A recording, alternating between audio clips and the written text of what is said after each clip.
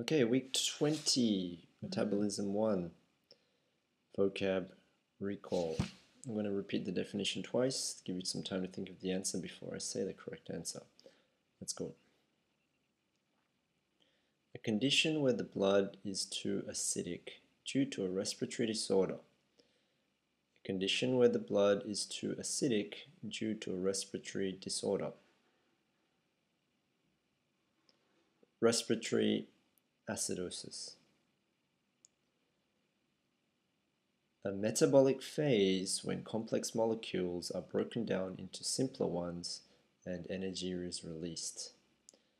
A metabolic phase when complex molecules are broken down into simpler ones and energy is released.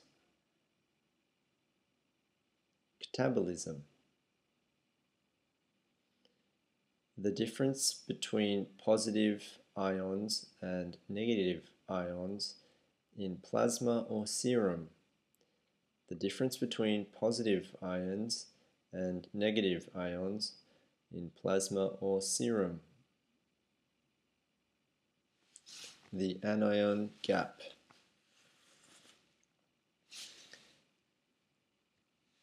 The disease characterized by high levels of glucose in the blood caused by insulin resistance.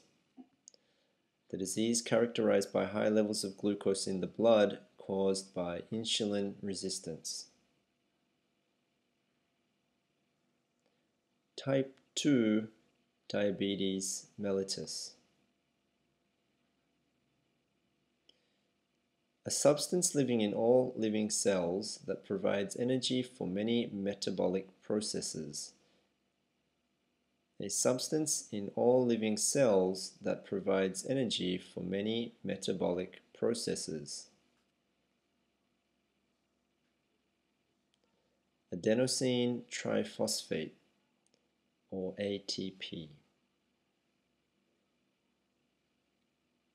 A measure of metabolic acidosis. A measure of metabolic acidosis. Base excess or BE.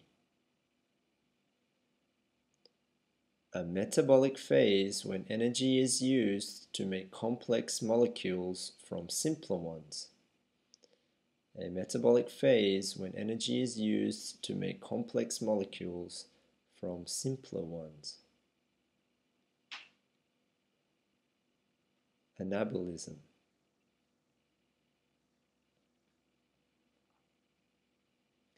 The disease characterized by high levels of glucose in the blood caused by insufficient insulin production.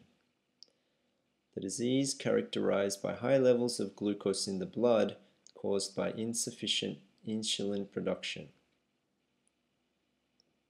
type 1 diabetes mellitus. The key salt that acts as a buffer to keep the blood pH within a narrow range is called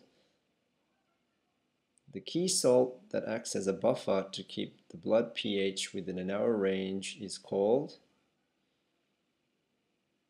a bicarbonate. And a condition where the blood is too alkaline due to a metabolic disorder.